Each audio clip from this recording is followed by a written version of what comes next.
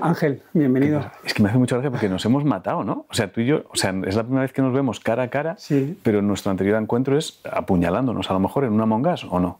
Es verdad, tío. Yo jugaba contigo a la Claro. no me acordaba. Claro, es que creo que es, que es la primera vez que veo a alguien después de apuñalarle o ser apuñalado, no lo recuerdo, pero Cierto, cierto. O sea que matar a alguien ayuda a conocerlo. Ayuda a que te digan sí cuando te invitan a, a charlar un rato, que es curioso. Joder, no me acordaba. Sí, no sí, sí, claro. Vale. Ah, vale, vale. Claro, yo te conozco por eso, en realidad. ¿eh? Con Ibai igual estábamos. Sí, el- no sé si con, con Ibai o con Auro, no Con lo sé, pero con, Sí. con uno de los dos. Es raro, ¿no? Un cura eh, con un cómico. Esto es un chiste. No, es una... eh, yo creo que es lo que tiene más sentido, ¿no? O sea, tiene mucho sentido, porque yo creo que la comedia y la religión generalmente han estado, no, enfren- enfrentadas no es la palabra, pero, pero ha alimentado muchas horas de comedia la religión. Entonces yo creo que ya iba siendo hora de que esto pasara. Se produjera el encuentro. O sea, cómicos, cómicos contra curas. Esto yo lo veo clarísimo. Sí, sí. Fíjate que a lo mejor es por mi experiencia, ¿eh? Yo, mi relación con los curas, no, con- no la igle- como concepto de iglesia, eso ya es otra cosa, pero mi relación con los curas en mi familia es que había un, o sea, no había un cura en mi familia, pero que mi familia tenía un amigo muy íntimo que era cura en Badalona. Entonces yo guardo como mucho cariño porque además era un cura, no sé, no sé está bien decirlo, pero era alcohólico. Entonces era muy gracioso, era muy gracioso porque recuerdo grandes conversaciones de mi abuelo con él. Grandes conversaciones. Mi abuelo no era creyente para nada, pero era muy amigo suyo, era muy amigo suyo. Se respetaban mutuamente. Y entonces el momento más divertido que yo he visto con ellos era, eh, hablaban abiertamente de absolutamente todo. Eran conversaciones, el recuerdo que yo tengo, no sabría decirte de qué hablaban, pero sé que recuerdo que me hipnotizaba verles hablar. Y entonces el momento más divertido que yo viví era cuando mi abuelo cruzó una línea, cruzó una línea y en una conversación dijo, era el padre Francisco, se llamaba, decía, Francisco, me cago en Dios. Y entonces dio un golpe en la mesa y dijo, no, Valero, eso no, ¿eh? O sea, podemos llegar a donde quieras, pero ahí no, ¿eh? Y ese momento fue muy divertido. Entonces, yo la verdad es que, no sé, siempre he dado, he dado por sentado que, que sentido del humor debían tener. Pues mira, en eh, estos encuentros yo se los propongo a personas que, en las que veo belleza, bondad, verdad. Mm. Y, te has equivocado por algo, te ha fallado alguien. Ha fallado, ha fallado alguien y has pensado quién hay en Madrid. Hay una cosa que, que veo en ti y que no es fácil encontrar en el mundo de las redes sociales y es tu calma y tu paz, al menos aparente. No sé si siempre ha sido así y no sé si realmente es una manifestación de, de un equilibrio interior o no, o, o por dentro estás en otro estado. Yo siempre, siempre he sido por fuera calmado.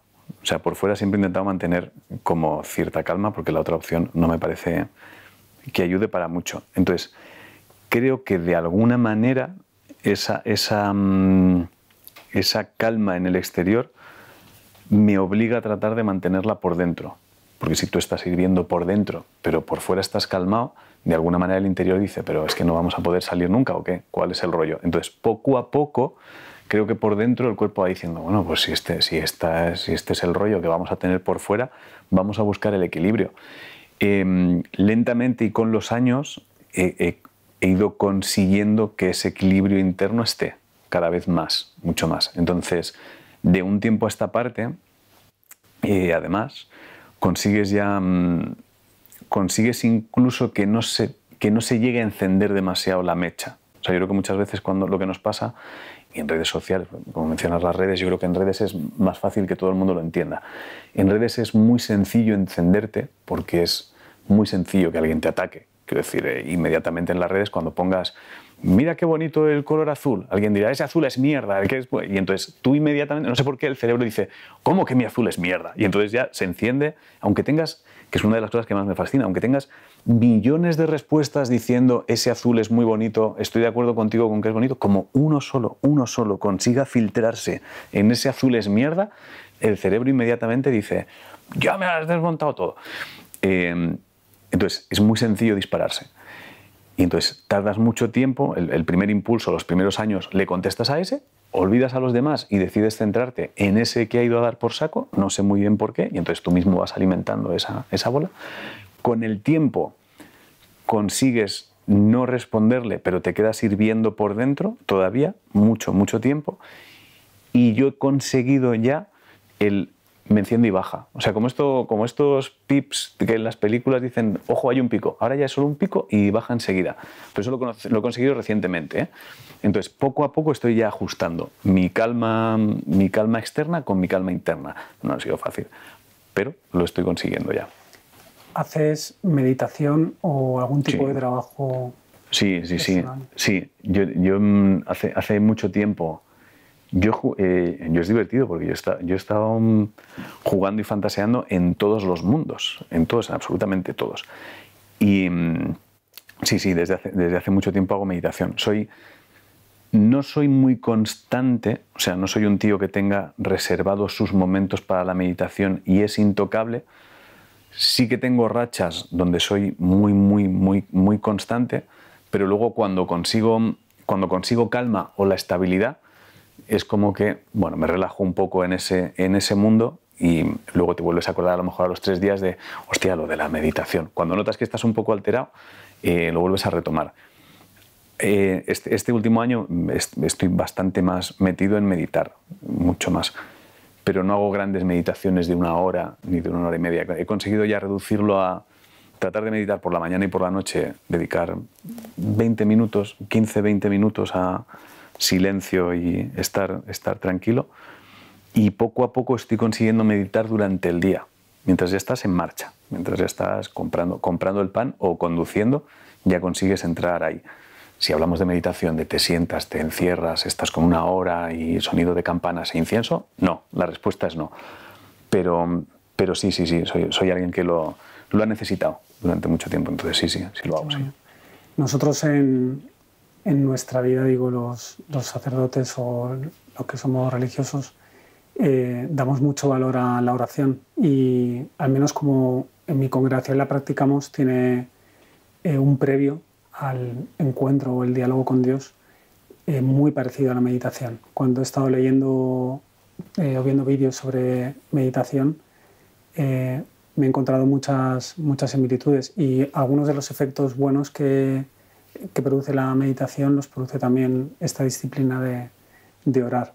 Nunca he reflexionado acerca de ello, pero tengo la sensación de que siempre sea, eh, desde la iglesia, la sensación que tienes cuando te hablan de orar o meditar, eh, da la sensación de que lo haces para otros o por otros y no tanto para ti.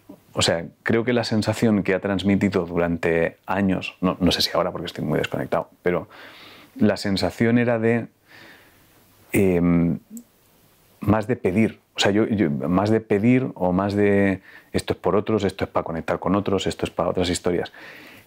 Entonces, es, yo creo que el ejemplo está en que cuando eres joven o cuando eres crío, si no tienes familia que directamente sea muy religiosa y te, implique y, y, bebas mucho de ahí, em, la clave está en que cuando eres crío recurres a Dios en los momentos de exámenes o de, por favor, si, eh, apruebo mañana no diré más palabrotas nunca más. Entonces, inmediatamente recurres a esa, a esa, a esa oración o, a ese, o, a ese, personaje en el momento de quiero algo, necesito algo, y tiene que ser de hoy para mañana.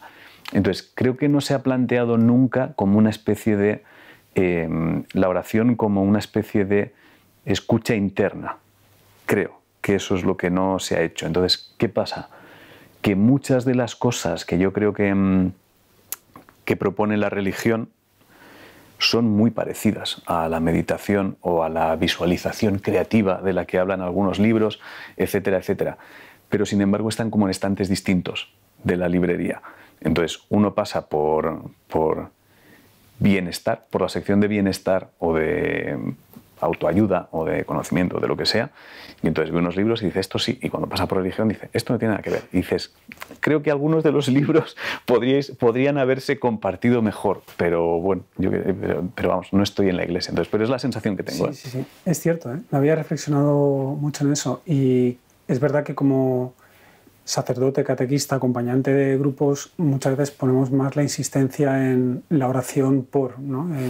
Hmm nosotros que vivimos de esta mierda, o sea que al final eh, estamos todos los días rezando, eh, lo que nos enseñan nuestros maestros de vida espiritual son caminos de, vida interior y de, y de, encuentro con lo trascendente, lo más profundo. Que de ahí brota la petición, el perdón, el silencio, Mm. pues ya depende. Pero, pero me hace pensar lo que dices, que es verdad, es verdad que, fíjate, las iglesias protestantes, no católicas, nos echan a veces en cara que, que nuestra oración es eh, que nosotros decimos rezar y ellos dicen orar. Y ahí es donde encuentran esta diferencia. O sea, rezáis repitiendo frases para conseguir cosas, mientras que orar es relacionarse con alguien y lo que venga de ahí es otra cosa, ¿no? Y, y aunque para nosotros los católicos es sinónimo rezar y orar, pero es verdad que puede que, que esté demasiado subrayada esa dimensión de pedir, ¿no? Es, es, es, es delicado porque yo creo que, hay muchas cosas que, mm, que son actualizables y no se actualizan. Entonces, claro, el, el repetir del que hablan los protestantes, como comentas, eh, te genera una, una sensación de realmente todos estamos pidiendo lo mismo, o sea, todos queremos lo mismo. Estas palabras, es- esta- estas palabras que yo estoy diciendo y que esta persona también, yo necesito esto, esta otra persona necesita esta otra cosa, son las mismas. O sea, es como, es como una especie de, se convierte, yo creo, da la sensación de que se convierte en una, mm, eh, ¿cómo, cómo se dice? En una, en una especie de, de, de palabra mágica. O sea, hemos encontrado unas palabras mágicas que dichas en este orden y de esta fórmula son las que hacen que se cumpla. Y entonces tú vuelves a casa y dices, yo creo que esto no va así, creo que esto no, creo, no, no creo que haya unas palabras que son las que hacen. Entonces, me pasa eso con, con, con- con la religión, que tengo la sensación de... em, de es que esto es, perdóname, pero es que creo que esto va a ser el desayuno. Lo he dejado solo aquí Ah, por eso. ¿eh? Sí. Sí. Buenas, es el desayuno, sí. Eh, traéis el desayuno, ¿verdad? Vale, sí, es en el, en el número uno. Eh, hablábamos de eso, Sí, de, las, de- que el, de- el tema de las palabras mágicas. de las ¿no? palabras. Entonces, yo creo que hay una, una especie de, mm, de necesidad de replantear las cosas, incluso de decir, mm, a veces me, me surge la pregunta de, em, ¿qué, qué busca la religión exactamente? O sea, ¿cuál es la intención exacta? Porque cuando tienes la intención exacta, ya puedes empezar a construir. Quiero decir, entonces yo, no sé ni mucho menos la historia de la iglesia, la historia de, la religión, o sea, con qué intenciones nace, cuáles son las intenciones, qué es lo que pretende, qué es lo que... em, porque al final yo creo que todos los que no estudiamos la religión o la iglesia, em, te quedas al final con lo que crees que es. Entonces, muy probablemente cuando le preguntes a alguien qué es la iglesia, qué pretende la iglesia o qué pretenden los curas, yo creo que los que no crean, básicamente lo que dirán es, bajo la excusa de, ayudar a los pobres, quedarse el dinero, ¿vale? Y los que crean dirán, ayudar a los más necesitados. Ya está, y nos quedamos con esa premisa. Pero creo que la pregunta real sería, ¿qué pretende la religión? cuéntamelo en una línea y entonces a partir de ahí empezamos a construir. Porque si encuentras, si me puedes explicar en una línea qué es lo que pretendes, vale, entonces te entiendo. Entonces yo te contaré cómo yo te puedo ayudar o cómo creo que tú me puedes ayudar. Entonces creo que muchas, muchas cosas eh, nacen, nacen, nacen hace tanto, tantos siglos, tantos años que al final se pierde realmente la esencia de algo y acabas, mm, pues acabas con una mochila de cosas que dices, esto se ha ido ensuciando. En- Entiendo que como absolutamente todas las instituciones se habrá ensuciado en algunos lugares, se habrá limpiado en otros, etcétera, etcétera. Em, pero creo que es imprescindible siempre mantener el, mantener el foco de, ya, pero ¿cuál, es ¿cuál era la intención? ¿Esto está en la intención? ¿Esto ayuda a que sigamos en? Sí, no. Pues hay que tomar medidas. Entonces, eso es lo que yo no he conseguido descifrar jamás respecto a la religión, el que pretende. Y cuando me paro a pensarlo y veo lo poco que se comparte a, nivel público, lo que pienso es, me están diciendo que es pide para los demás, ayuda a los demás, ayuda a los demás, y yo creo que es que como yo personalmente creo que la movida empieza por ayúdate tú, lo que la iglesia me está proponiendo, lo siento, pero estoy muy desconectado de ahí. Pero es una lectura mía que puede estar terriblemente equivocada, que seguramente lo está. Muy interesante. En el, cristianismo, la esencia, la esencia es, es Jesús. O sea, al centro hay una persona que, que que conmueve a quien dice haberse encontrado con él, que hace experimentar que él es más que un hombre, ¿no? Eh, luego la teología dice es hombre y Dios, ¿no? es el Hijo de Dios. Pero aparte de toda esa formulación más intelectual o posterior, quien lo siente eh, experimenta que hay una, un poder muy grande.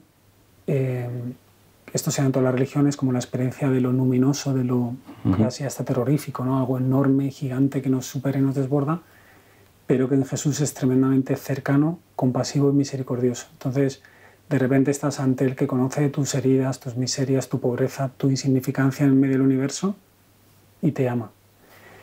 Para mí, eh, yo te comparto mi experiencia porque claro, puedes preguntar a cada persona creyente. Yo crecí en una familia no practicante en la que los valores cristianos les gustaban y me metieron a un cole católico cuando pudieron. Y yo crecí creyendo que Dios estaba, pero nunca lo experimenté. Y llegó un momento en mi adolescencia, en la época de rebeldía, que ya tenía claro que, bueno, Dios sí, pero Iglesia no, porque no me cuadraban muchas cosas. Y me llegó a molestar cuando se decía Dios es amor.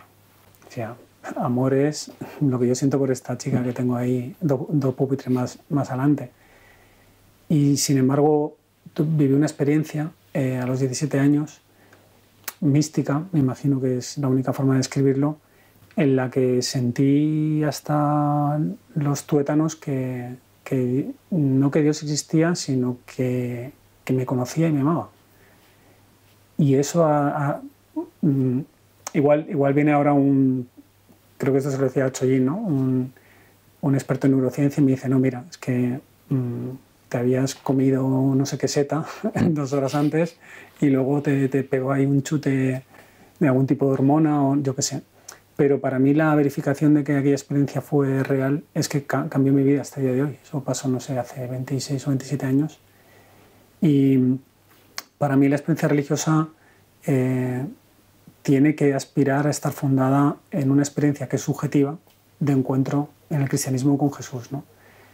Mientras tanto, es, mucho de sociología, de fenómeno religioso, es mucho de la cultura en la que vives, que no lo juzgo, ¿eh? porque, bueno, pues creces con unos valores cristianos, pero mientras no hay eh, la experiencia de lo trascendente y en nuestro caso de la cercanía de, de, Dios, pues todo es un, más ideológico que, que vital, ¿no? Que, que, no te, que, te mueva. Y yo un poco el parámetro ese es el que utilizo para, para juzgar lo que es o lo que no es esencial. Evidentemente, ayudar al prójimo es esencial, pero yo siempre he pensado que, que si yo no estoy bien y yo no estoy centrado en la experiencia misma del amor, no puedo ayudar a los demás porque serán al final mecanismos de autocompensación que utilizaré para sentirme hmm. yo bien, ¿no? En el fondo utilizar al otro, el bien que haces al otro para estar tú a gusto. Yo, sé, yo creo que, que en general mucha gente... Eh, eh, y hablo de edades además de gente mayor, yo creo. O sea, si me voy a la generación de mi abuela o generaciones de la edad de mi padre, etcétera, etcétera, creo que mucha gente utiliza em, la iglesia y los domingos para decir, bueno, yo ya he cumplido. Es decir, ya he cumplido, ya está. Y en Navidades eh, le bajo mantas a gente que vive en la calle y hago estos tres, cuatro actos y con eso ya está. Yo creo que ya me conectaré con lo que sea que haya por ahí porque estoy haciendo cosas buenas. Entonces, em, de alguna manera creo que eso lo que más ha hecho yo creo que es frivolizar, probablemente, porque mucha gente, obviamente no todo el mundo, pero mucha gente yo creo que lo hace sin ningún tipo de intención más allá del de cara a la galería. Jesús decía, muchos últimos serán primeros, muchos primeros serán últimos. Y lo decía en el contexto de los religiosos de su época, los fariseos, sumos sacerdotes, los que le llevaron a la muerte, mm. Porque era una religión del cumplimiento. Tenían 613 normas que había que cumplir para ganar la, mm, la gracia, la palmada de Dios. ¿no? Y decía, habéis cargado pesados, eh, fardos pesados, insoportables en los hombros de la gente, no entráis ni dejáis entrar. ¿no?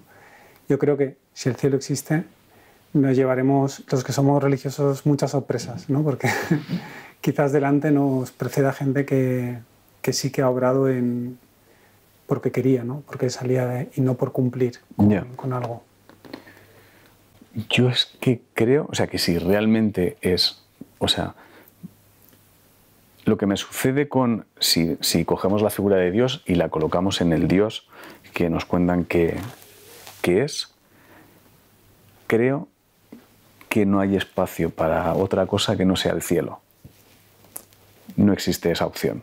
Quiero decir, si realmente es esa figura extremadamente bondadosa que comprende, crea, respeta, etcétera, etcétera, por muy hijo de puta que seas, cuando llegues allí, él tiene la obligación de decir, bienvenido hijo.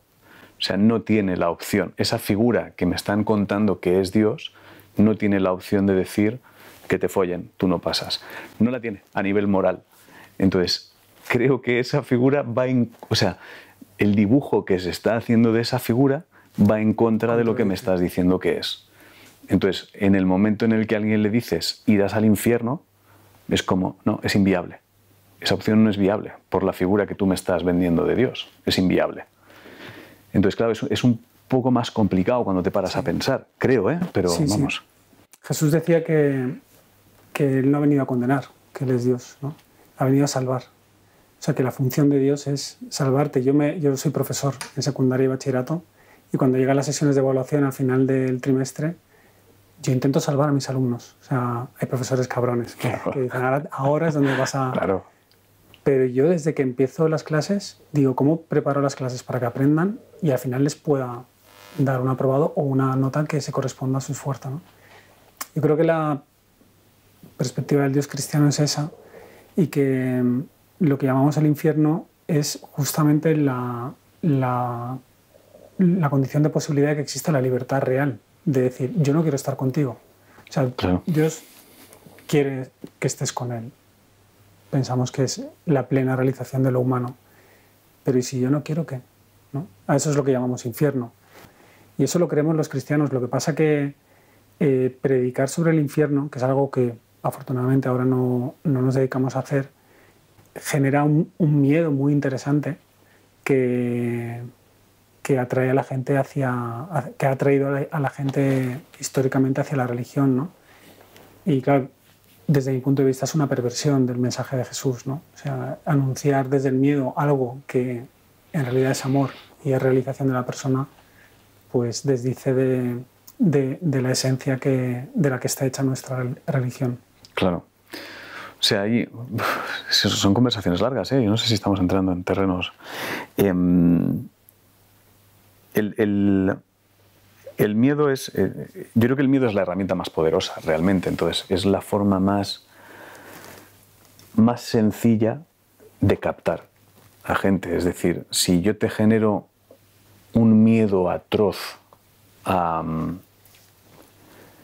es decir, yo te planteo, después de morir hay algo, ¿vale? Tú no lo ves ahora, pero hay algo, o sea, cuando mueres hay un sitio donde bla, bla, bla, bla, bla, bla si no haces las cosas como yo te digo, hostia, lo que te espera es que es incomparable a lo más...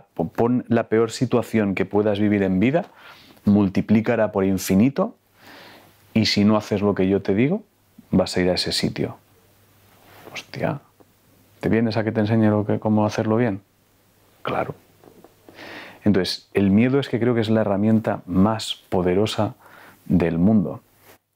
Eh, y en este caso es sorprendente porque al final es, es, me estás metiendo miedo a la posibilidad de que si no hago no sé qué, cuando llegue a un sitio que nadie sabe muy bien qué es aquello, no sea como, pero si tú no sabes cómo es, hijo de puta, si tú no tienes ni idea. No, sí, porque hay, una, hay unas escrituras, sí, para, para, pero el que lo ha escrito tampoco sabe cómo es. Sí, porque se lo dijo. Sí, se lo dijo uno que, dices que ha estado allí. Pero, pero sabemos, hay una prueba, o sea, ¿me puedes hacer un tráiler? ¿Podemos ir un momento y volver?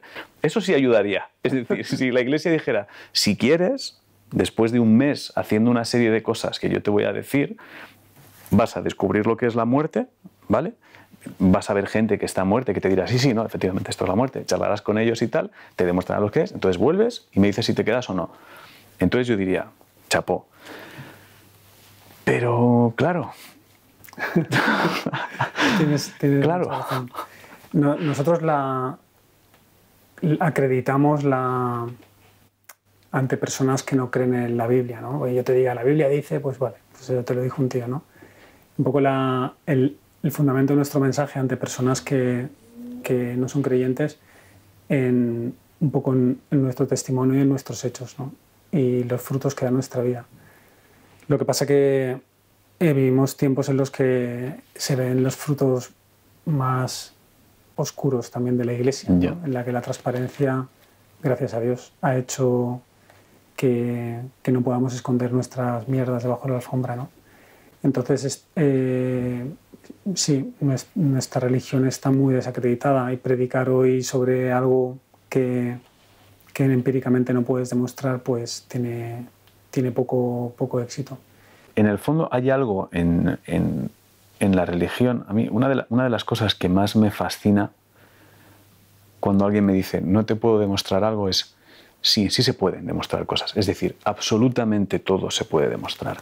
Em, y una de las cosas que no entiendo para nada y no entenderé jamás es, es, la guerra entre religión y ciencia. No la entenderé en la, en la vida, entenderé la guerra entre religión y ciencia, porque si yo fuera científico lo que más me fascinaría y para lo que dedicaría mi vida es qué pasa cuando mueres. O sea, toda mi investigación iría destinada a eso.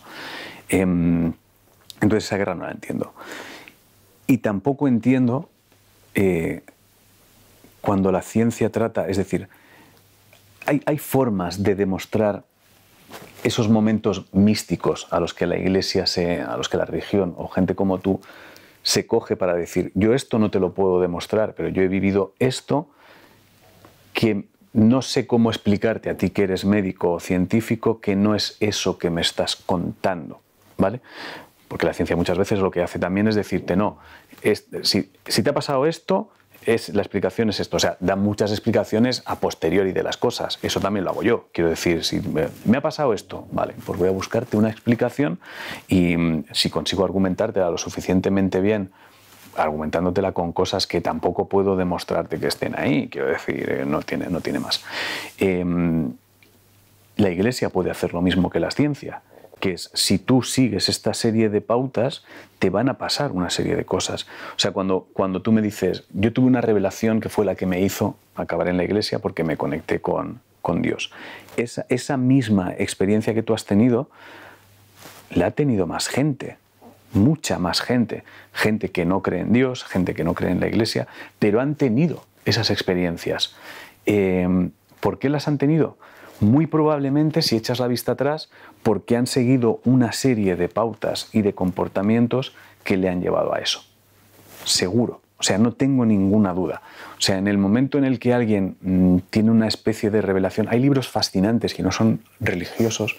Eh, hay un tipo, un escritor hebro del 1800, eran, eran de los que pensaban que son de, esta, mm, de esta serie de personas no recuerdo cuál era la palabra, pero donde se habla de que Dios no es Dios como tal, sino una energía. Hay mucha gente que habla de una energía universal, que habla de, una, em, que habla de muchas de esas cosas y que hablan de e, eso es Dios, o sea, ese control absoluto del universo em, de las cosas que te pasan y de si lo haces bien, las cosas te irán bien. Y mucha gente habla en esos libros, se habla mucho de tú puedes comprobar que las cosas mejoran y te irán bien si dejas de ver el mundo como algo en decadencia y empiezas a verlo como algo en construcción. Es decir, nosotros tenemos el punto de vista que nos han metido en la cabeza desde siempre es que el ser humano está en un mundo que va hacia la decadencia. Es como, ya está, estamos en decadencia. Hemos dado por sentado, no sé muy bien por qué, el ser humano ha dado por sentado que hemos llegado al top. Ya está, somos el top ahora ya no podemos crecer más. Y tronco, eh, vienes creciendo desde allí que te hace pensar que tú en el 2021, porque tienes un iPhone y tienes cohetes en el espacio, es como, ya está, ya no podemos seguir evolucionando. No, no, esto es un paso más, tronco. Esto va a seguir tirando para arriba. ¿Qué pasa? Si tú te pones, si tu punto de vista lo colocas en un mundo de destrucción, todo lo que te sucede deja de ser un aprendizaje, es una hostia, es un castigo, no tiene más.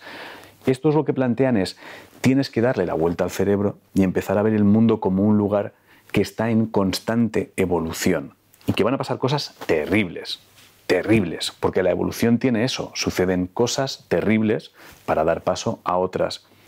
Mejores o peores no lo sé, pero es la puta evolución y no puedes hacer nada. Quiero decir, es la naturaleza, puedes tratar de enfrentarte a ella, pero es la naturaleza. Em, entonces, la Iglesia yo creo que tiene herramientas, si quiere demostrar ciertas cosas, como para hacerlo. Lo que no tengo es la sensación de que la Iglesia esté pensando en eso. O sea, tengo la sensación de que la Iglesia ahora mismo lo que está pensando es, uno, ¿cómo cojones lo hacemos para limpiar toda la mierda que hay aquí? Eso lo primero, ¿vale? Porque de repente eh, tenemos que demostrar que somos buena gente. No lo digo porque crea que no lo son, ¿eh? lo digo porque es como tenemos que, cualquiera que lo haga, incluso en el mundo de la comedia sucede, tenemos que demostrar que no hacemos lo de insultar por insultar, que hacemos un humor porque no sé qué, cada uno tiene que demostrar lo suyo en su, en su entorno.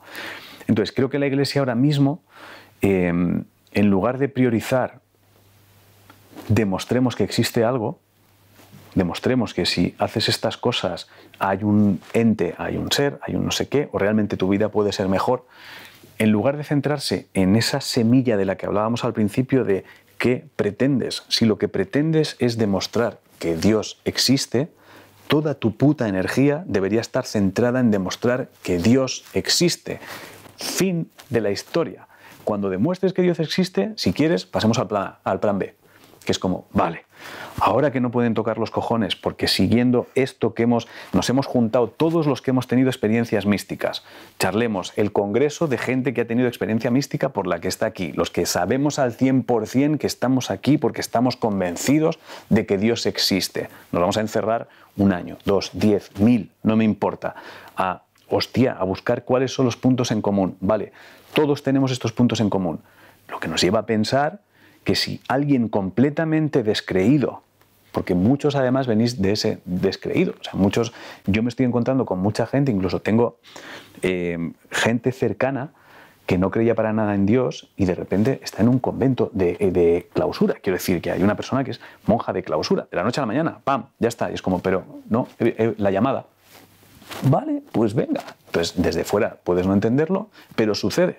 Obviamente a gente le sucede de repente, de la noche a la mañana, que no creen para nada, cambian su vida y dicen, creo. ¿Por qué? Porque me ha pasado una cosa. No, tío, pero eso se llama que es que se te ha ido la líspidos de no sé qué, fluscus, ha hecho un clus y necesitas estas tres pastillas. Mm, creo, ¿vale? Si toda esa gente dijera, hostia, estas pautas son, vamos a coger un descreído, ¿sigues estas pautas? Sí, y el descreído de repente dice, hostia, creo, ¿Vale? Pues ya tenemos, ya tenemos una fórmula para que cualquiera, cualquiera puede comprobar que Dios existe. Y esa es la misión. Pero de repente creo que la Iglesia tiene mil misiones abiertas encima de la mesa, mil putas cartas, y la de demostrar que Dios existe está ahí debajo, está por ahí, ya está. Entonces, ¿cuál es? No, hay que limpiar esto, hay que recaudar no sé qué, hay que irse a no sé dónde, a las cabañas, de, porque hay un sitio donde no llega el agua. Que sí, que son acciones muy bonitas, que son acciones de puta madre, que ayudarán al ser humano, etcétera, etcétera.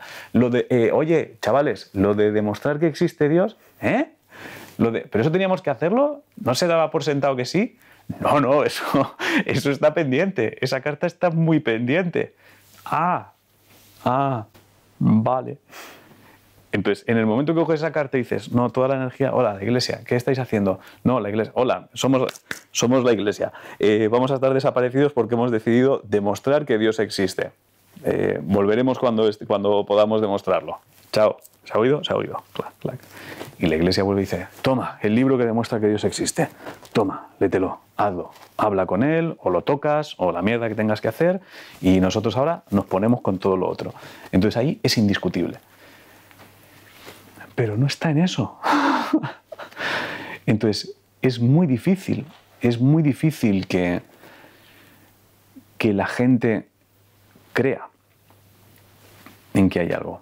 Porque la, la misión inicial de esto, si es que era esa, ya no está. Entonces, hay una serie de gente que se ha ido encargando, gente que cree en la iglesia, gente, mis abuelos, mis padres, mis bisabuelos, etcétera, etcétera, que bueno, pues a su familia le va inculcando el esto tienes que hacerlo. Pero ni siquiera sabes por qué lo haces. O sea, yo he hecho la comunión, pero no sé por qué cojones he hecho la comunión. He hecho la comunión, imagino que porque a mis padres querrían montar una fiesta para que viniera toda la familia, mi abuela querría verme eh, sujetando el rosario, es un rosario, ¿no? Lo que se lleva, el rosario o lo que sea, y sujetar el libro, tener fotos muy bonitas y muchos regalos. Y para que en el momento en el que el cura te dice, ¿qué le pides a Dios? Poder decir salud para toda la familia, por si te escucha, porque es tu día especial, y una bicicleta. Pero claro, mm, no, sabes realmente por qué. Entonces, a medida que creces, la información que va llegando no es la más guay tampoco. Entonces, ya, ya ahí entramos en el mundo de información. Es hacia dónde crees, a quién crees, qué no crees, te lo crees todo, no te lo crees todo. Y es, y es más aburrido. Pero creo que el gran problema de la Iglesia, si me lo pregunta alguien, es ¿habéis perdido vuestra puta prioridad? Pues muchas gracias, tío. No, no pensaba... un placer. Coméntaselo al papá y diles, oye, que hay un cómico ahí de Madrid que, que, dice que tiene la solución. A mí me, me ayudas y voy a, voy a meditar en todo esto. Gracias. Ojo que si, dice, si, digo alguna idiotez me dices, no, estoy de acuerdo, eh, cuidado. Es decir, que yo de repente estoy loco. Sí, sí. ¿Te puedo preguntar sobre tu infancia? ¿Alguna sí, sí, sí, lo que quieras. Eh, ¿Tienes hermanos? Una hermana. Una hermana. Más no, más joven, nueve, nueve, años. ¿Tienes algún recuerdo de niño bonito, algo bello? Iba a decir sí rotundamente, pero, pero por contraste, porque no, porque no tengo recuerdos malos. Entonces iba a decir un sí, un sí, tengo recuerdos preciosos de crío. Recuerdos preciosos de crío te voy a decir el recuerdo que me ha venido, no porque crea que sea más bonito que otro, sino porque al decir precioso ha venido una imagen y digo, pues esto en el cerebro, hay gente trabajando en el cerebro y ha dicho, ¿ha dicho precioso de niño? Lánzale esto, no lo sé, pero no, no lo recordaba especialmente. Eh, yo de crío jugando con palomas en un parque, no me preguntes por qué, no había pensado en esa imagen hasta ahora mismo. Em, especialmente bonito, no, tengo, tengo, tengo muy buenos recuerdos de jugar con mis padres mucho, mucho. Em, pero no, tengo uno que diga, este es el bonito, bonito. Tengo, tengo muchos momentos bonitos, pero creo que afortunadamente por contraste, no, no tengo malos recuerdos de mi infancia. ¿Tenías eso que dicen los niños, no? Yo quiero ser de mayor. ¿Tenías algo que querías ser?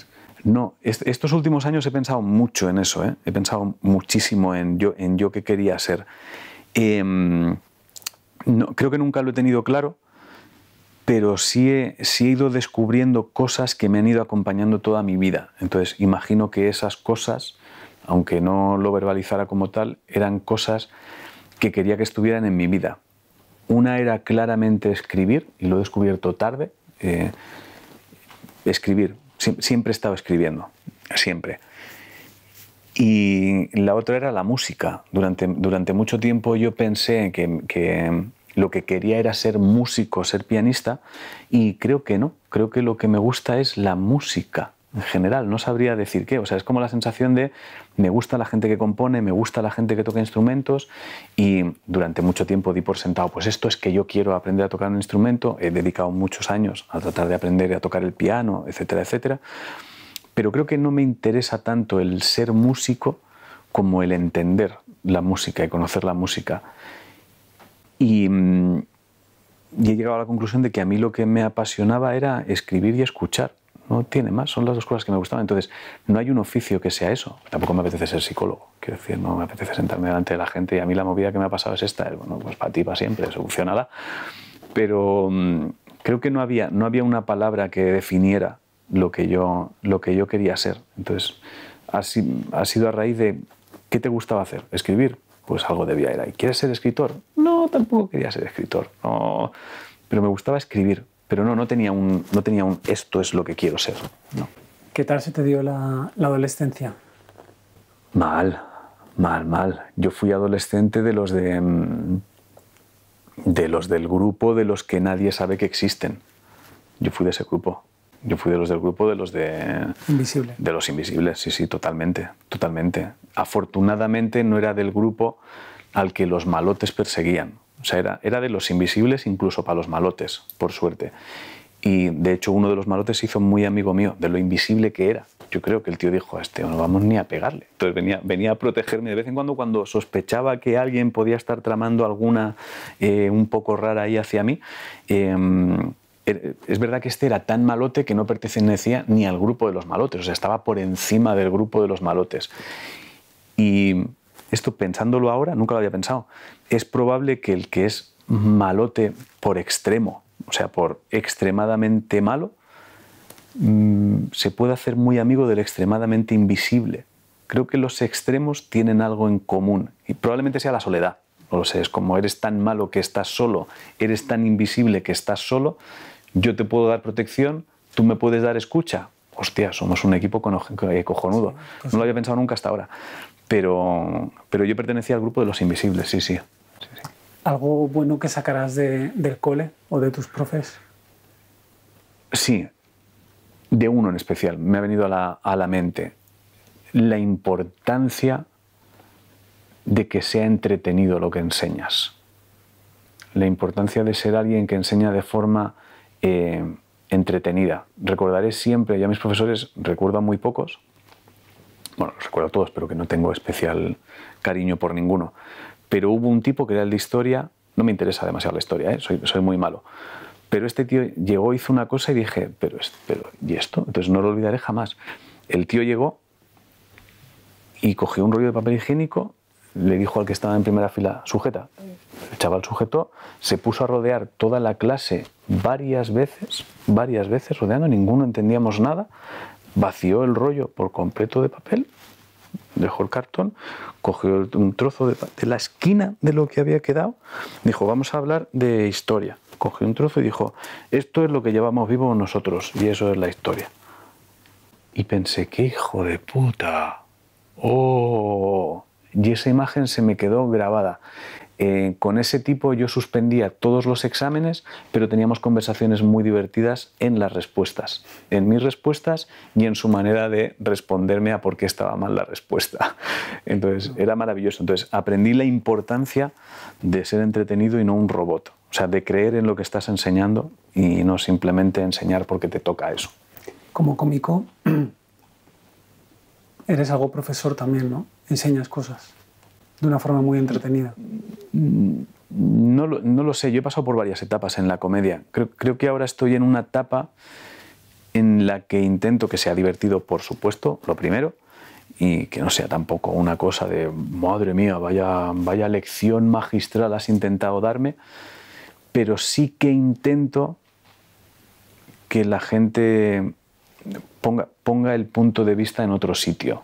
O sea, que no dé por sentado que su punto de vista es siempre el correcto. O sea, que hay más lugares y más formas de ver las cosas. Eso sí lo entiendo. Pero no soy un cómico que intente adoctrinar. De esto es lo que hay que pensar. Como yo pienso esto, tú tienes que pensar esto.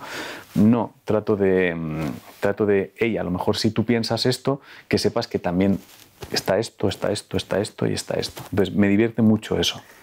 ¿Puede ser que hayas incomodado a gente al intentar hacer eso?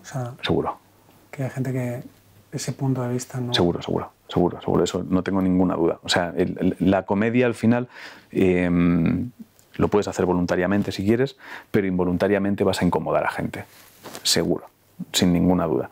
Em, toques el, tema que toques, da igual. Siempre va a haber alguien que corres, corres el riesgo de que, de que esté incómodo en cualquier tema y luego hay temas que tú sabes positivamente que si entras ahí puede haber gente a la que le resulte incómoda, pero que tú o quieras entrar porque te apetece entrar o porque necesitas entrar ahí para sacar tus propios demonios. Entonces hay un momento en el que dices, pues yo lo siento mucho si esto te molesta, pero yo, mis demonios me necesitan mm, haciendo estas bromas. Entonces sí, sí, seguro, seguro, ha pasado. Te voy a pedir que completes unas frases. Mi primer amor mi perro, Keto, sí, sí, sin ninguna duda. Murió no hace mucho, ¿no? Murió hace muy poquito. Sí. ¿No consigo corregir? Eh, hostia, creo que muchas cosas. Em, no consigo corregir. Hostia, ¿tenía que ser respuesta rápida? no. Ah, vale, vale. No consigo corregir creo que lo que no consigo corregir es, entender, creo que nos pasa a muchos. ¿eh? ¿Sabes, ¿Sabes cuando, cuando los fumadores dejan de fumar? que les, se ponen muy impacientes con la gente que fuma, porque ellos han descubierto que eso es malo, y entonces quieren que todo el mundo deje de forma inmediata de fumar al momento, sin hacer el proceso que ellos han hecho para dejar de fumar, pues me pasa eso a mí. O sea, en cuanto descubro que algo es sano objetivamente para el cerebro o para tu cabeza y veo que alguien no lo está haciendo, eh, enseguida trato como de decirle, pero haz esto. Entonces, me cuesta corregir el, déjale, está en su puto viaje, déjale, muérdete la lengua y no trates de, ya está, si quieres darle una pista, pero desde la calma, ya está. Eso me, eso me está costando un poco. No consigo olvidarme de... Mm. Me viene quieto, claro, pero si nos ponemos un poco más así, eh, no consigo olvidarme de creo que no consigo olvidarme de lo divertidas que son las cosas cuando las arrancas y la rabia que da cuando se convierten en rutina. O sea, no consigo, em, más que no consigo olvidar, no consigo, es que no es no consigo olvidar, es, bueno, no consigo olvidar las sensaciones iniciales de las cosas que me gustan mucho de las cosas que realmente te hacen extremadamente feliz. Entonces, es un, a veces genera un problema porque quieres volver a, sentirlo exactamente así y es inviable, porque la primera vez que sientes algo es la primera vez que sientes algo. Entonces, eso, esa, esa, esa primera sensación, siempre sales con la sensación de, es que podía, y dices, no, tío, ha sido muy divertido, está muy bien. Entonces, creo que eso. Ni todo el dinero del mundo conseguiría que yo... Buah, hiciera algo que no quiero hacer. Vamos, imposible. O dijera algo que no quiero decir. Imposible, inviable. No podría vivir sin... A estas alturas sin la verdad, creo. O sea, no puedo ya vivir sin la verdad. O sea, no, es imposible. No puedo ya. Ya estoy muy cansado. ¿Y Twitch me ha permitido? Hostia, es fascinante. Twitch me ha permitido... Em, Twitch me ha permitido disfrutar de la comunicación, creo. Volver a disfrutar de la comunicación.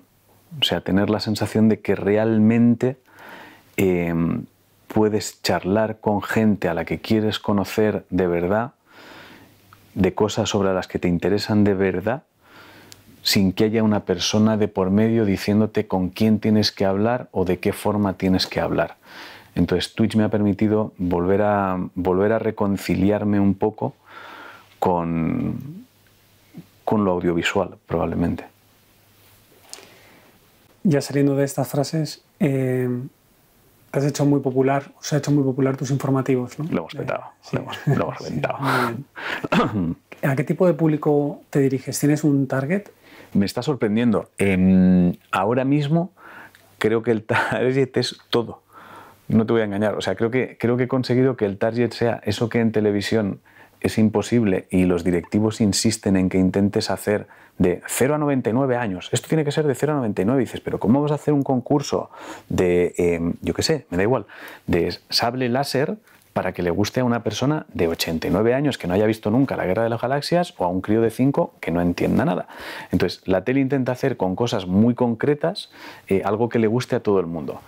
Em, y el informativo, yo lo he comprobado porque al compartirlo en todas las redes sociales puedes ver, el, eh, tienes el feedback inmediato de la gente y todas las redes sociales son edades distintas, rangos distintos. Eh, entonces he descubierto que funciona exactamente igual en Facebook, que probablemente es la red social donde la gente es más mayor, hay de todo, pero la gente eh, es más mayor, y en TikTok donde la gente es más joven. Entonces, de repente veo, y bueno, y de hecho el otro día un primo de mi chica, que creo que tiene, no sé, debe tener, no creo que tenga 15 palos, vamos, debe tener 14 o 15 años, no creo que tenga más, me dijo, te veo en TikTok con mis amigos, nos lo pasamos muy bien. Entonces, sé positivamente que he conseguido que la franja sea desde los 14 hasta el otro día recibí un mensaje de una señora en Twitter diciéndome, tengo cinco nietos, me he hecho Twitter para decirte que te veo a esa edad. Entonces he conseguido ya esa franja, lo ve todo el mundo, estoy muy contento. ¿Y crees que aportas algo al mundo de los informativos con este formato? Ahorro tiempo. Clarísimamente. ahorro tiempo, ahorro tiempo. Em, creo, creo que ha vuelto a pasar un poco lo mismo que pasó en Sé lo que hicisteis, y es el lenguaje. Creo que al final los informativos, no sé, llamarlo informativo es pretencioso. O sea, creo que lo que haces es una batida de noticias rápidas y titulares que te vas a encontrar en todos los medios. Em, pero sí creo que lo que tiene es, uno, ahorra tiempo y te simplifico la noticia en dos líneas porque me las leo, leo, leo diferentes sitios para tener el punto de vista entero y no solo el de Menganito o el de Fulanito que le interesa disparar para su casa. Em, entonces te ahorro tiempo y sobre todo el lenguaje el lenguaje. Creo que al final ves a un tío diciéndote una noticia, pero que se ha pasado por el forro la corbata y el tratar de ser respetuoso. Y si de repente cuando llega una sección como los esports o los videojuegos tiene que decir la mierda esta de los Pokémon, no sé por qué mierdas os gusta, lo dice y ya está. Entonces, la gente a la que le gusta se divierte y se ríe porque está diciendo, pues ha dicho que los Pokémon son una mierda y entonces entras en el juego todo el día de, pues Winchminchu es bueno eh, y esas mierdas y a la gente a la que no le gusta dice, pero ¿qué es eso del Frostfrochos? ¿Qué es esto? Entonces creo que esas son las dos cosas más guays del informativo. Bueno, eso es muy original que hayas metido los eSports. Eso ha sido no está en ningún lado. No, no está en ningún sitio, no lo entiendo. O sea, y no lo entiendo ahora que veo la magnitud de ese sector. O sea que no. Eh, porque claro, tú cuando haces algo lo haces porque tres en Twitter te dicen, oye, ¿puedes meter esports? tú no tienes ni idea de qué mierda es eso, te tecleas esports en internet y hay un día que dices, pues, el equipo que sea, me da igual, eh, yo qué sé, por cariño, sí, Mad Lions. Eh, Mad Lions lo ha reventado, no sabes ni lo que estás diciendo. Mad Lions en el League of Legends, muy bien, en Masters valoran. Y. Y de repente, claro, mucha gente te escribe y te dice, qué guay eso. Y dices, pero como, tiene, pero como esta frase ha funcionado también. Y entonces te escribe alguien del equipo, oye, del equipo, oye, muchas gracias por haber mencionado. Y dices, pero esta mierda que es. Empiezas a ver las cuentas, dices, pero esta gente como tiene cientos de miles de seguidores, empiezas a ver qué es eso del League of Legends, y dices, pero espera, espera vamos a ver, ¿qué, ¿qué mierda es esto? Y entonces te paras a prestar atención, descubres en qué consiste ese sector y dices, pero ¿cómo es posible que los informativos no estén informando de esto exactamente igual que del fútbol, tronco? Si esto mueve una salvajada de, de, todo. Y mm, pues meto eSports, porque de repente dices, pues claro, si es que nadie lo está haciendo y es, es muy divertido. Acabarán metiendo cosas, sí, sí, lo sé. Si ya voy viendo, o sea, esto es muy gracioso, pero ya vas viendo a veces como algunos informativos meten algunas noticias que dices, tú esto no lo hubieses metido hace seis meses, pero ni de broma. Y lo sabes. Y dices, esto lo estás metiendo ahí ahora para ver si enganchas a cuatro chavales de 25 30. ¿no? ¿De qué vas a meter tú que Lana del Rey mm, saca un. ¿Le vas a dedicar un rato a Lana del Rey? ¿Tú? Cuando el disco es en octubre o en noviembre y bueno, y Lana del Rey, has mencionado en tu vida a Lana del Rey y lo haces ahora. Entonces, notas que muchas cuentas de medios tradicionales empiezan como a meter muy bien este equipo en esports, que yo creo que lo que están estanteando a ver qué repercusión. Marca, eh, marca.com, o sea, la Google está metiendo un montón de cosas de Mucho. Ellos, ellos, también del mundillo de, de, Tortilla Land, por ejemplo, en la serie de Auron, meten un montón de cosas y yo encantado, me parece que es la forma de conectar con el público joven y de visibilizar algo que, que es enorme y que, que, ha sido invisible en los medios tradicionales. ¿no? Yo creo que Marca, yo creo que Marca es de los primeros medios deportivos que tiene como la sección de esports en, en, en, su periódico digital. Actualizan despacio y tal, porque es verdad que esperan que hayan como una noticia lo suficientemente grande, lo cual tiene sentido. Em, pero ha sido de los primeros. Creo que además si me paro a pensar ya en estrategias de marketing, venta, posicionamiento, em, son muy listos porque lo que han visto es que hay muchos equipos deportivos empezando a hacer su equipo de esports, tipo el Betis, etcétera. Se rumoreaba que el Barcelona también pensaba en sacar uno, Ibai se ha asociado con Piqué para sacar el nuevo equipo, entonces Borja Iglesias yo creo que está también en cosas de esports, si no me equivoco, o no, Diego, Diego Soro. Em, entonces creo que han visto que el mundo del deporte y el mundo de los esports, ojo, que están empezando a meterse ahí, y han dicho, pues hagamos esto. Y Marca incluso creo que produjo un programa de videojuegos con Fran Blanco, si no me equivoco, o alguien más. Bueno, creo que llegaron a hacer, sí, pero han sido los primeros en, en meterse ahí, sí. ¿Juegas algún videojuego? Estoy reenganchándome a ellos. O sea, me he terminado dos de Resident Evil eh, en estos meses. El, el, Village y, el, y otro, el 7, no lo sé. Pero de, de, chill, tú, tranquilito. Tranquilito. He intentado hacer alguna retransmisión jugando, pero me desespera el chat. Estoy hasta el rabo del chat cuando uno se pone a jugar a videojuegos. Es que tienes que hacer Todo esto. el mundo no te. Ah, todo el mundo sabe de todo y luego no sabe ni de nada. Entonces, en casa de Hay en un cuando. fenómeno en sí. el chat que alguien te dice, mm, coge el fluster. Y todo el mundo repite en cadena, coge el fluster, el Y fluster. Todos, todos están equivocados. Sí, el nadie, nadie sabe nada. O sea, yo lo que he descubierto en Twitch es que nadie sabe nada y todos van de listos. O sea, todos van de, no, esto es lo que tienes que hacer. Y es, pero si tú no tienes ni idea de esto, bueno, pero es que, es que, pues cállate la boca. O sea, no ayudes. Yo me peleo mucho con el chat, mucho. No, juego, juego en casa de vez en cuando. No, pueden pasar semanas en jugar, ¿eh? Pero de vez en cuando estoy buscando qué juegos me gustan. He empezado a decir, a ver, ¿qué juegos me gustan? Entonces estoy empezando en esa búsqueda. Ahora estoy ahí. ¿Me dejarías que te hiciera un examen de rally con tres preguntas? Hostia, voy a fallar, pero dale. Tiene premio, Vale. tiene premio, si apruebas. Tienes que aprobar dos. Hostia, va a ser muy difícil, ¿eh? Mira, ¿cuál de estas fake news Sí. que los fariseos y doctores de la ley en tiempos de Jesús, los que un poco controlaban la religión, hicieron circular, sirvieron, o cuál de estas, perdón, sirvió para llevar a la muerte a Jesús? Vale. Primera, que era un comilón y un borracho. To- todo esto es real, ¿eh? está en la Biblia, son Ah, sí. fake news que hicieron circular. Vale, vale. Que andaba zascandileando con pecadores y prostitutas. Que quería destruir el templo de Jerusalén, lo más sagrado. Que hacía milagros con el poder de Satanás. O que quería ser rey de los judíos. A ver, si viajo al pasado, ahora mismo estoy entre. Estoy entre dos. ¿Vale? Te, te doy una pista. Aunque, aunque fue el poder religioso el que lo llevó hasta la condena, fue el poder político Pilato el que lo ejecutó. Vale.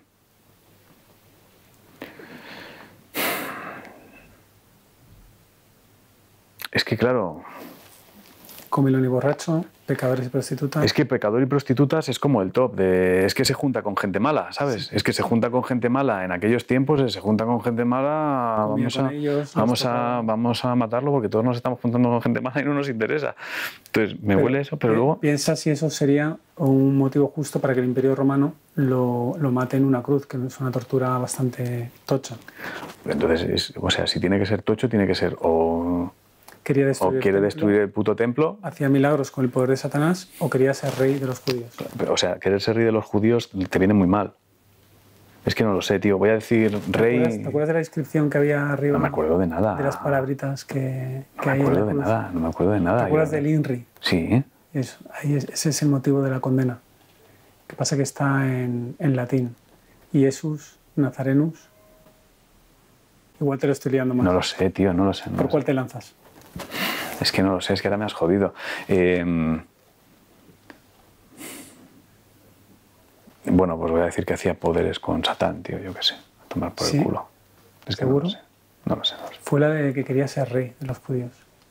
Le, le acusaron de... Hubiese apostado. ¿eh? Estaba entre borrachos, prostitutas y rey de los judíos. Pero luego he pensado. Claro, porque al final eh, de todo esto le acusaban los religiosos. Pero los judíos que estaban sometidos por el Imperio Romano no podían juzgar a nadie, sentenciar a muerte. Entonces Pilato tuvo que utilizar un argumento que casi de sedición. O sea, este hombre va contra el poder de Roma. Y se agarró a la historia de que Jesús hablaba de un reino y lo tomó en sentido literal. Este tío quiere ser rey y quiere ir contra César. ¿no? Y fue la causa del, del ajusticiamiento. Vale, vale. Claro, sí, es, nos, quiere, nos quiere quitar poder. Vale. Te quedan dos. Voy a palmar, eh, te lo digo. ¿Cuál de estas tres cosas muestra los evangelios que le preocupaban más a Jesús? Uno, la moral sexual, eh, el uso de métodos anticonceptivos, la masturbación, la homosexualidad, le obsesionaba. Dos, El- voy a descartar esta solo por el le obsesionaba, que lo sepas. O sea, solo el le obsesionaba ya me hace descartar. Dame las otras dos. la manipulación que hacían de la imagen de Dios los jefes de la religión judía y que les servía para imponer cargas a los demás, ¿no? y por lo que él los llamaba hipócritas. Y tercero, eh, los estipendios, o sea, la pasta que tenían que cobrar los apóstoles cada vez que hacían curaciones y exorcismos a otras personas, que es lo que le preocupaba más a Jesús según los evangelios. ¿A cuál era la intermedia? Perdona. Eh, la manipulación que hacían de la imagen de Dios los religiosos de, de su época. No, voy a, voy a, voy a- voy estipend- decir la tercera. Pero ¿por qué has dicho estipedios? Eh? Estipendios, los, Estipendios. Voy a decir esa. que había que cobrar por cada curación y, y exorcismo. Pero que le molestaba que cobraran. No, no, que le preocupaba y que... Y que Ah, que le preocupaba. lo que- O sea, la no, vale, esa la descarto. Espera, espera, esa la descarto. Perdona, lo he explicado yo. Vale, vale, esa la descarto. Entonces. Manipulación de la imagen de Dios, moral sexual o a cobrar. Pero será manipulación de la imagen de Dios, ¿no? Correcto. Vale, vale, claro. Correcto. Claro, claro. A Jesús le preocupan varias cosas, pero Vale, vale. una de ellas es esa. Y su gran enfrentamiento con, con la religión de su época, de la cual él, él participaba porque era judío, es que se habían deformado tantísimo la imagen de Dios que la utilizaban para justificar, pues, por ejemplo, que los donativos, eh, que era más importante dar el dinero al templo, o sea, a ellos.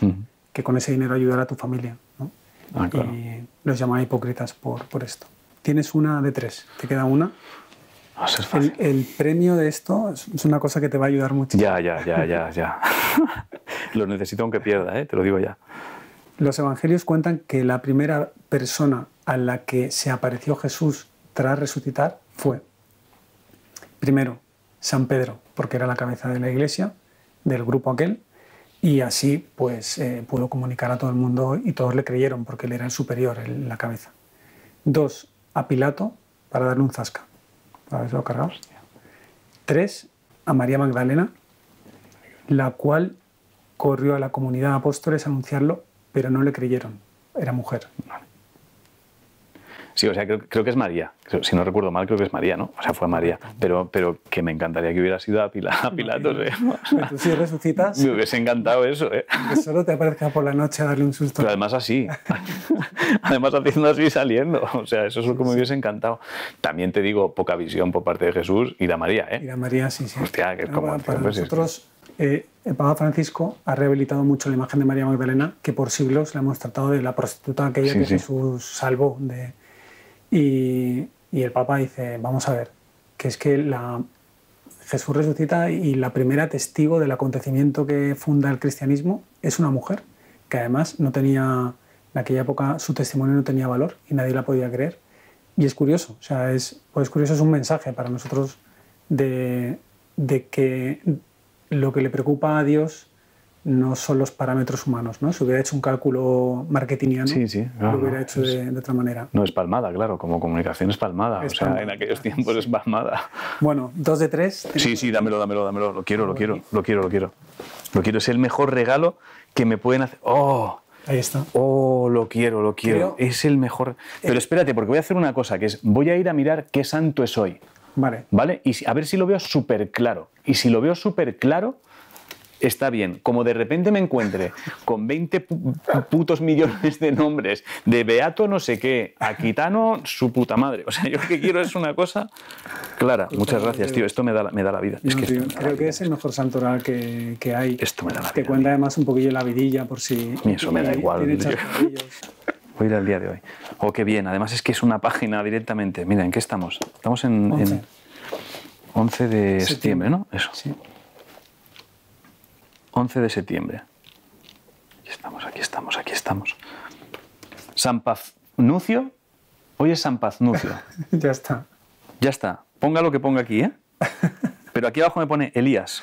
Claro, es que todos los días hay varios. Tú te- tienes que ir a más. Pero ¿cuál es el del día? O sea, ¿yo cómo sé cuál es el del el día? el que te pone ahí. Vale, entonces yo cuando el 12 de septiembre, o sea, si yo mañana, por suerte no tengo informativo, pero si yo mañana digo, si te llamas María es tu santo, Es que hay muchas Marías en el santoral. Sí. esta mierda me va a generar los mismos problemas. O sea, si yo digo, si te llamas Tomás es tu santo, mañana, Pues sí. Es que, por ejemplo, Daniel, hay dos, dos Daniel. Y Ángel, me imagino que habrá varios también. vale, pero el, el importante Es el de arriba. es el primero. Sí. Vale, si te llamas María es tu santo, Ahora, te, te indiscutible. digo que el tema es complicado. Para nosotros, curas, eh, nos guiamos por una cosa que se llama El Ordo, que es un libro que saca cada año la conferencia episcopal. Y efectivamente, cada día te pone varios y en la misa te deja conmemorar al que tú creas. Bueno, a veces te dicen, no, no, esto es memoria obligatoria. O sea, San Pedro, esto hay que, es una fiesta, hay que celebrarlo. Pero a veces te pone, pues eso, Pancracio, Benedicto y Amelia. Claro, sí, sí, sí. y entonces te, te deja o no decir ninguno o celebrar el que en tu localidad tiene más acogida, más renombre o... Es complicado, ¿eh? Ahí das meter un muy, es muy confuso, es que es muy confuso. Es que cada uno pone el que le da la gana, de verdad. Es que cada página pone el que le da la gana. O sea, yo lo busco y es... Hay, eh, una, hay una aplicación, te la envié por Twitter, igual no la has visto, que se llama el taco. Sí, sí, pero que no vale tampoco, Jesús. que no va Claro, bien. te- cada día te saca el, el 11 sábado. ¿Cuál te pone a ti hoy ahí? Venga, vamos a hacer ahora mismo esa prueba. ¿Cuál te pone a ti hoy? El taco que tú me mandabas, que era de fiar, ¿cuál te pone? Venga. ¿Cuál te pone? Venga. Espera, no me pone ninguno, ¿eh? No, no, pues dime, porque uno es. Yo lo tengo aquí. Al sábado. Venga. Eh, Nuestra Señora de la Cueva Santa, Proto y Jacinto, Pues Félix y. Regula ¿Y dónde está Paz, y Paznucio? Pafnucio. El último. El, el cuarto y todavía quedan ocho.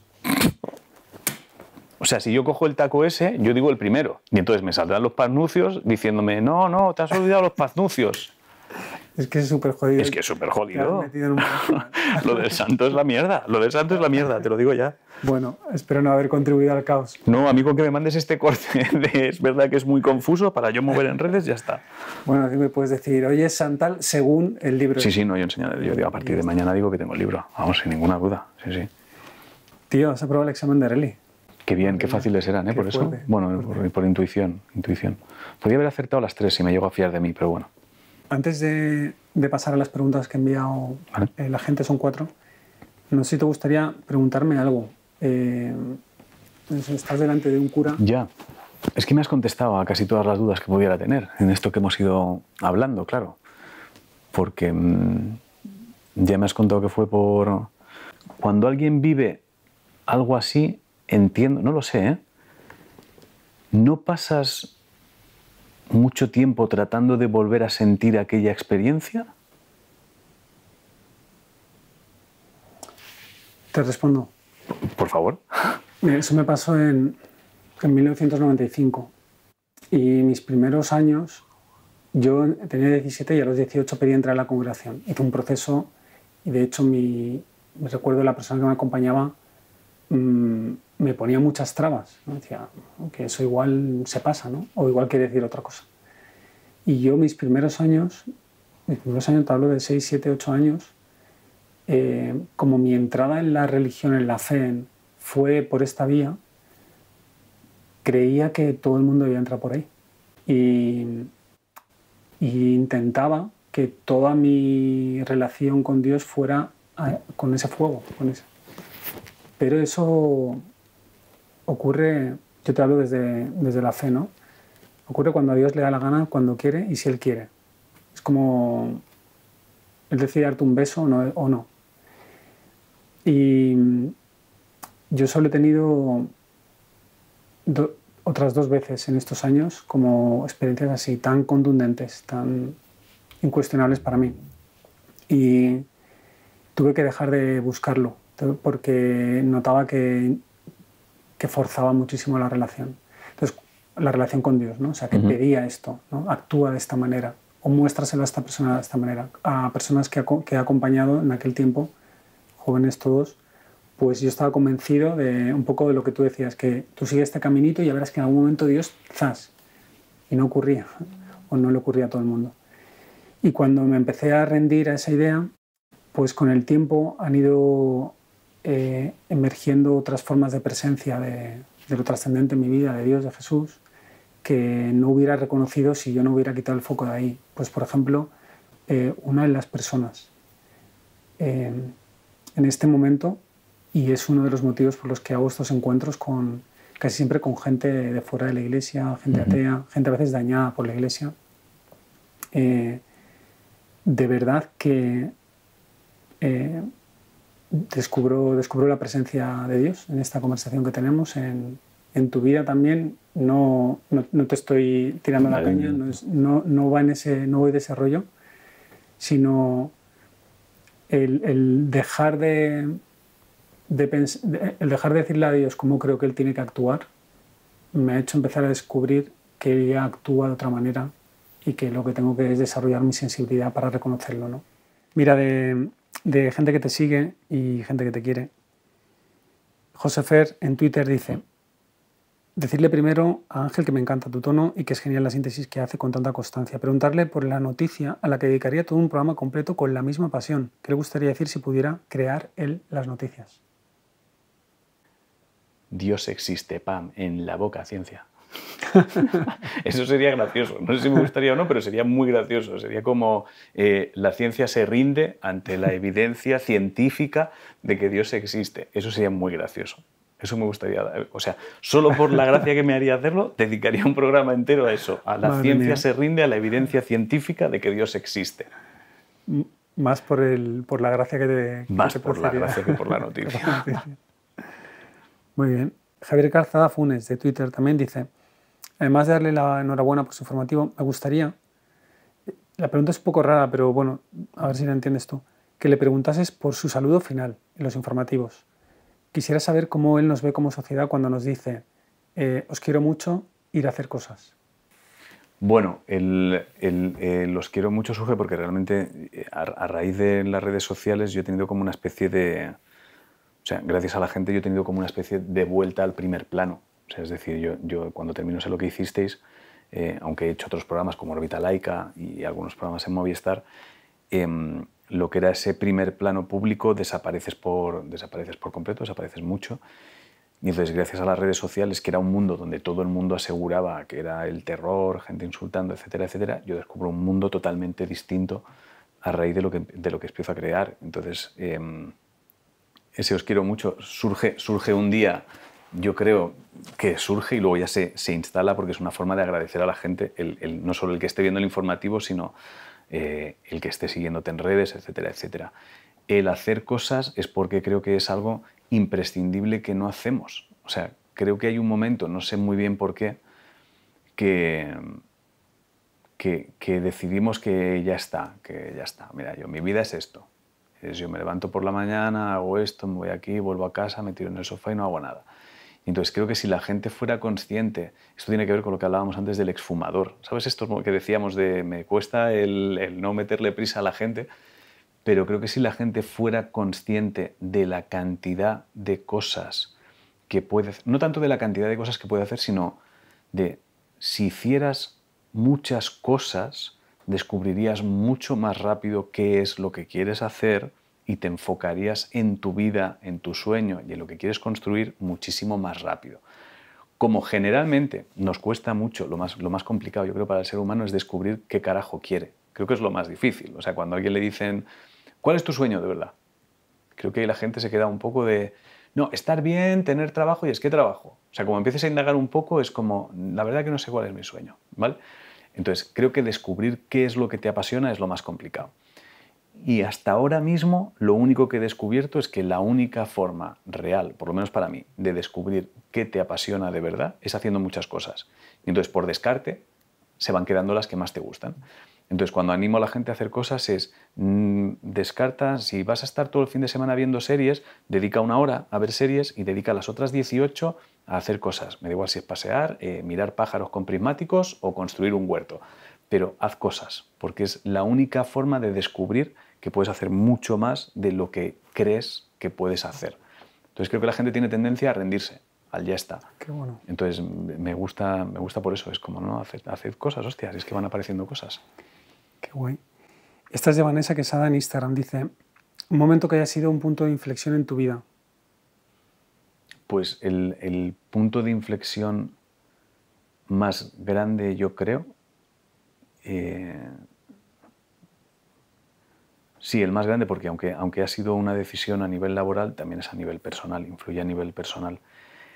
Eh, ha sido la decisión de no por, no, por no hablar en concreto del, del, caso, que yo creo que se entiende exactamente igual, de levantar el teléfono y decir, esto que me estás diciendo que tengo que hacer, no lo tengo que hacer, no lo voy a hacer, ya está.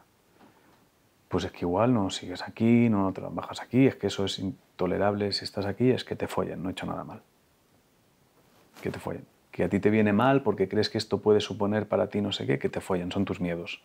Son tus miedos, son tus agobios, son tus reglas, que te follen. Entonces, estar dando por sentado, o sea, en ese momento fui consciente de que probablemente todavía no existía, existía el informativo, pero no en, no en el nivel en el que está ahora, ni estaba en el crecimiento en el que está ahora. Eh, me habían pasado muchas de las cosas que ya han pasado, pero era ese momento en el que tienes que decidir si apuestas por, por un ti nuevo, completamente nuevo, de decir, te estás saltando al vacío. O sea, estás, estás corriendo por un rascacielos y saltando al vacío sin saber si hay una puta red abajo. No lo sabes. Y decidir saltar. Decir, a tomar por el culo, ya está. Pues es que igual se te acaba todo, no te llama nadie más, pues que no, pues a la mierda todo. Ese, ese momento, el momento de apostar por mí eh, sin saber qué carajo iba a pasar. Es verdad, fue a raíz de una cosa laboral, pero ya afectaba a todo lo personal.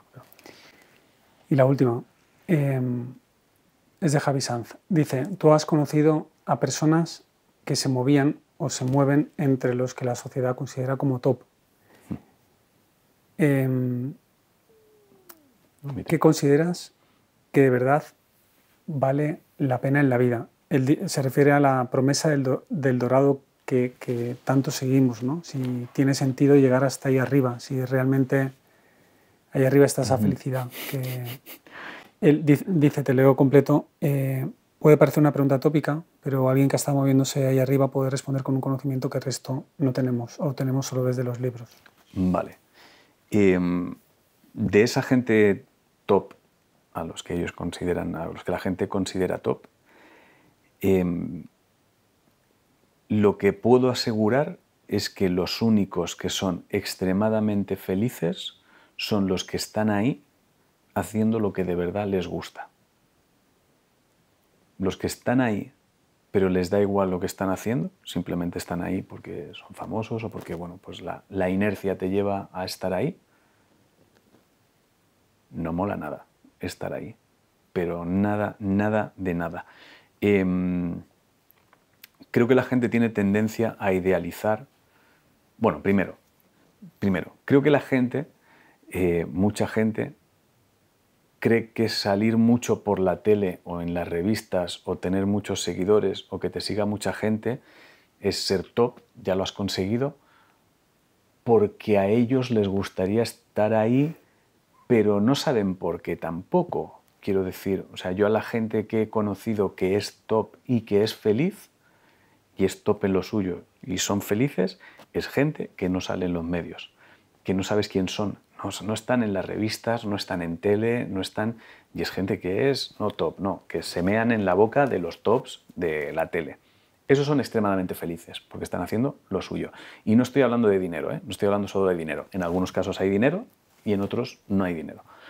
Em, entonces creo que la gente confunde el, ser famoso, lo que ellos consideran ser famoso, con la felicidad y eso tiene que ser muy guay es, exactamente, o sea, yo siempre digo lo mismo, es todas las ventajas que creas que tiene un famoso, pon en el mismo saco, haz otro saco y llénalo de problemas de ese nivel también.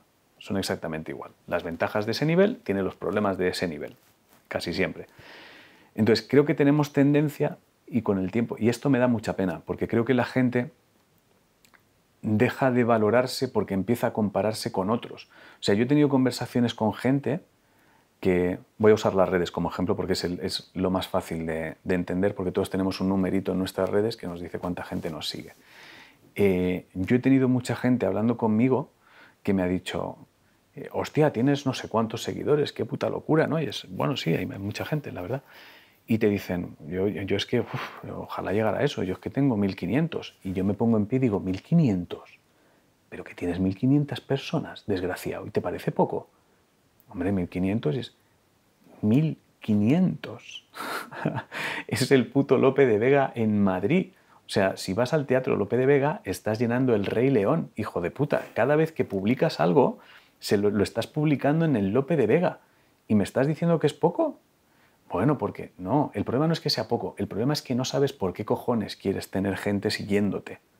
Ese es el único problema, que no sabes por qué lo quieres. Estás teniendo un numerito ahí que quieres que suba mucho. Ok, supongamos que mañana te levantas y tienes un millón de seguidores. Vale, ¿qué vas a hacer? Querrás tener dos millones, porque no tienes un plan, no tiene más. Entonces, creo que vivimos en una sociedad donde, donde empezamos a creer que lo guay o lo top es acabar en la portada de una revista, en un programa de televisión, en un no sé qué, y es como, teniendo muchos seguidores en redes, haciéndote viral con el vídeo que has hecho, y es como, te estás despistando.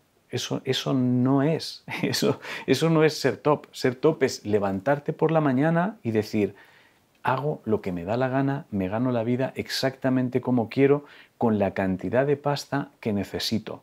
Porque esto creo que la gente tampoco lo hace. La gente intenta decir en voy a acumular dinero, voy a acumular dinero. Y es, ¿para qué quieres el dinero? Entonces, conozco a mucha gente que es, hombre, es que si yo tuviera 500.000 mm, seguidores y es, vale, ¿qué harías? ¿Eh? ¿Qué harías? ¿Qué harías? Imagina que mañana te levantas con 500.000 seguidores. ¿Qué harías? ¿Cuál es el plan? No, no, no. Es como, eres top para 1.500 personas, tío. Eres top para 200, eres top para 300 o eres top para 5. Da igual. Pero te tienes que olvidar del, del si es guay o no es guay. Em, mi vida no es, no es más guay que la del tío que tenga una panadería que ha sido su puto sueño siempre. No es más guay mi vida que la suya. No lo es. Si su sueño era tener una puta panadería, eh, hacer pan, que la gente vaya por la mañana y diga, ¿qué puto pan tienes, tío? Cómprame 10 más. Llegar a su casa, ponerse una película o jugar con sus perros o irse de fin de semana a Bora Bora o comprarse un Lamborghini, porque con la panadería ha hecho millones de pasta, es más feliz. No es, no es más feliz ni menos feliz que yo. Ya está. Es eso. Es, es igual de top que cuando coges una revista y dices, ah, mira, es que claro, como tiene 600.000 seguidores, pero si cuando ves esa puta foto ni siquiera sabes si le apetece estar ahí, si la mitad de fotos que veas en Instagram y en sitios es gente que ha ido ahí porque le han dado 2.000 euros, 3.000 euros, 4.000 para hacerse una foto en el hotel y estás diciendo, joder, pues ya me lo tiran a mí para ir a ese hotel y es, ¿quieres ir a ese hotel a cambio de estar todo el día haciéndote putas fotos, entrevistas, no hablar con nadie y llegar a la habitación reventado? Seguro que no prefieres ir al hotel pagándolo tú y disfrutar el hotel. Entonces, creo que se confunde el, ser popular con que tu vida ya es guay. Entonces, no todo el mundo es feliz en, eh, ese lugar considerado top. No todo el mundo, ni de broma. Ni siquiera sé si he contestado la pregunta. Sí, sí, vale. has contestado. Espero que hayas disfrutado de este encuentro, un puente más que intenta romper nuestros prejuicios y establecer vías de escucha y de diálogo. Si es así, suscríbete para no perderte lo que está por venir y comparte este vídeo con aquellos que creas que les puede ayudar. Que Dios te bendiga.